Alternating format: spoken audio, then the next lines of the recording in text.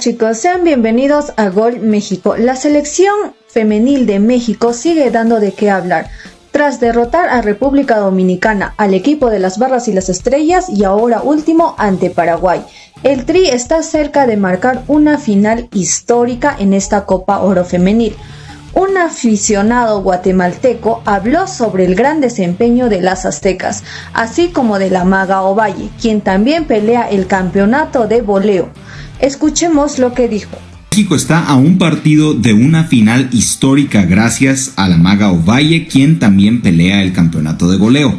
La selección mexicana femenil está invicta desde septiembre del 2022 antes de que el entrenador español Pedro López tomara las riendas del equipo. En ese lapso, las mexicanas se han convertido en uno de los equipos más peligrosos de toda la región. En esta Copa Oro Femenil, Jackie Ovalle lleva 5 goles en todo el torneo, incluyendo 2 en los cuartos de final ante Paraguay.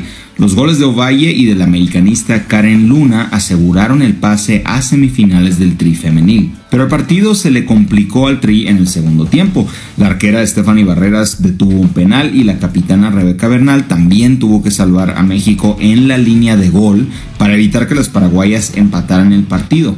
Ahora México se enfrentará a Brasil en los semifinales del torneo en el Snapdragon Stadium de San Diego, California, donde seguramente el Tri tendrá una grandísima ventaja en las gradas con afición del sur de California y la frontera norte del país.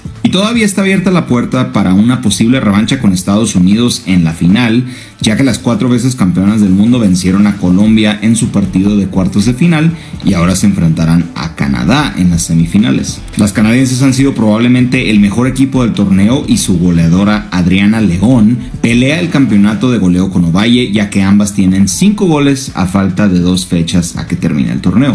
Pero para tener que pensar en Estados Unidos o Canadá, el Tri femenil tendrá que continuar su magia ante las brasileñas, un equipo muy fuerte que previo al inicio de la competencia estaban dentro de la lista de favoritas para campeonar.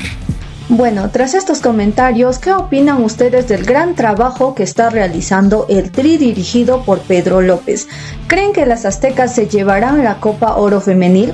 Recordemos que las aztecas van con todo a llevarse el triunfo y esperemos que este encuentro no sea la excepción.